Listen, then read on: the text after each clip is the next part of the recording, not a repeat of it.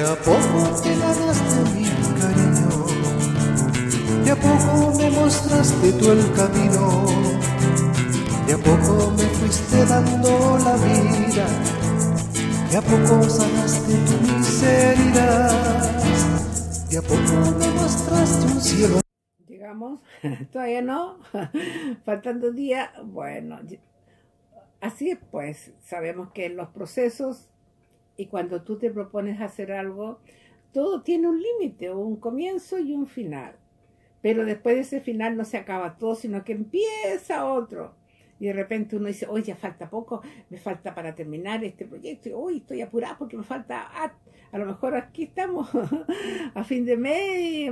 al principio mes dijimos, vamos a proponernos esto y se nos ha olvidado algunos propósitos. Y estamos apurados tratando de arreglarlo, pero con calma ya para el Señor, nosotros tenemos el tiempo en día, en meses, en hora. Para el Señor no hay hora, no hay día ni mes. Es el día preciso tuyo. Te ama ahí, al tiro, en este minuto. Y no piensa que es la mañana, que es la tarde. Ah, no, hoy día. No, te ama todo el día, te ama toda la vida. Esa confianza que no te deja, no te ha dejado y no te va a dejar nunca. No como nosotros los seres humanos. Y hoy día nos dejamos llevar por la masa. Tenemos hoy día la festividad de el martirio de Juan Bautista. Y mira lo que nos dice acá nuestro librito y ojalá nos vaya sirviendo de enseñanza. Herodes admiraba a Juan, lo protegía, lo consultaba y lo escuchaba, pero no podía negarse a entregarle la cabeza de Juan para no quedar mal delante de los convidados. Hasta ese momento Herodes respetaba a Juan. Sin embargo, la palabra del profeta no había logrado llegar al corazón, donde se toman las decisiones más profundas. Allí tenía más poder las habilidades de una mujer que lo llevó a asesinar a Juan. Sabemos que es como dice acá, y esta mujer se puso a bailar, quedó loco, el mundo, ya la lujuria, ¿y qué pasó? Pídeme lo que quieras, dame todo, todo, yo quiero tener ya. Y ella le pide la cabeza, le dice, todos los reinos, si quieres la mitad de mi reino. Y ella no, la cabeza de Juan. Y él dice, lo amaba, lo respetaba, lo escuchaba, sabía que era una persona buena. Y delante de todos había dicho que todo lo que ella pidiera lo hacía. Entonces se dejó llevar por ese respeto humano, no fue capaz de decir, saben qué más, perdone, pero yo no voy a cumplir mi palabra porque no voy a asesinar a un hombre bueno, nada, nada. No, no podía quedar mal, prefirió matar a alguien que sabía que era bueno.